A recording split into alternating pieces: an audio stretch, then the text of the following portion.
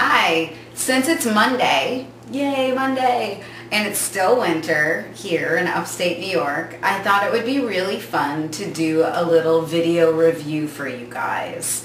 I um, oftentimes work with pre-strung beads on my work, but I've been working a little more lately with beads that are placed onto stitches.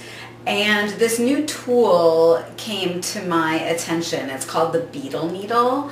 And I already have a video tutorial that shows you how to place a bead onto a stitch with a crochet hook and also with a piece of Super Floss, which is a dental floss product. But after I found out about the Beadle Needle and started really loving using it, I realized I wanted to give you a tutorial for working with this as well. I did find that there are a few tricks to working with it for things to go smoothly. So I thought a video tutorial would be the best way to do that. So um, once I'm done with this little introduction, we'll pan over to my hands showing you exactly how to use this. In um, the blog post that goes along with this video, I'll give you a few different places that you can purchase one if you want to get one for yourself. But remember, you can still use a crochet hook or super floss or the Beadle Needle. They'll do the same thing, place a bead onto a stitch of your knitting. And the Beadle Needle comes in two different sizes. It comes in a 0.8 millimeter and a 1 millimeter. The 0.8 millimeter is for size 8 Japanese seed beads that have a smaller hole because they're a smaller bead. And the 1 millimeter is for size 6 Japanese seed beads that have a little bit of a bigger hole. Um, Japanese seed beads, the naming nomenclature is different.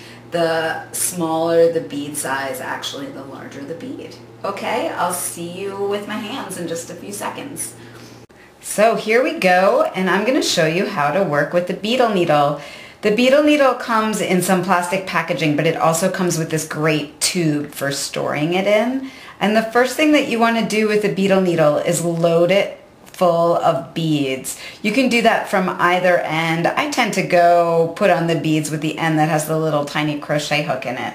It's super minuscule. These are size 6 Japanese seed beads. They're made by Matsuno. So these actually have a little bit of a square hole to them and they are quite stunning. And I'm going to show you how to use this on, I chose some yarn right here. It's a, it's a cashmere blend and it's got a little bit of fuzz on it. So I think it'll be really interesting for you to see how the Beadle Needle works. And what you do is you just go into the stitch that you want to put the bead on and grab the stitch so it's sitting in just right in that little hook spot and then slide a bead down onto the stitch and then put the stitch back onto your needle. And then the trick is dropping the Beadle Needle down out of the stitch. If you twist the Beadle Needle at all, you can end up embedding it into the fibers and that can end up making it really difficult to get it out of there. So the big trick is just to drop it out of there. Let me show you that again. So we've got our Beadle Needle and I'm bringing a bead up from the needle. And then I'm sliding the stitch off sliding the bead on and then sliding that on. And did you see how I just dropped the Beadle Needle right out of the way? Remember when you place a bead on a stitch you can either work the stitch after you place the bead or you can slip the stitch after you place the bead if you slip the stitch you end up being able to see the bead from the front of your work and not as much from the back of the work but this bead over here, I worked it after I placed this bead and you can see you can see it evenly both from the front and the back.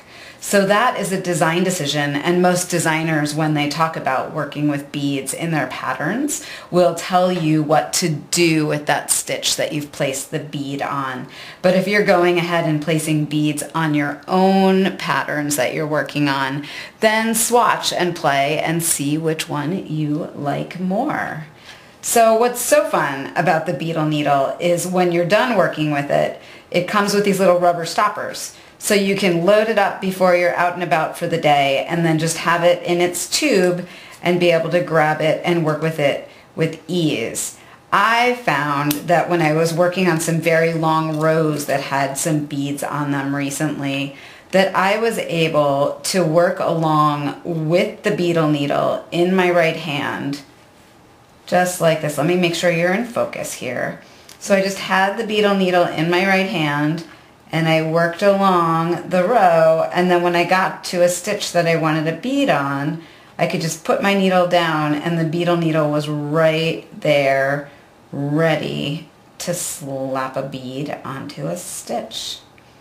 So easy. And then you can keep holding it or you can put it down. It's not really that big a deal to pick it up again. So that is the Beadle Needle. I'd love to hear what you think. Happy knitting!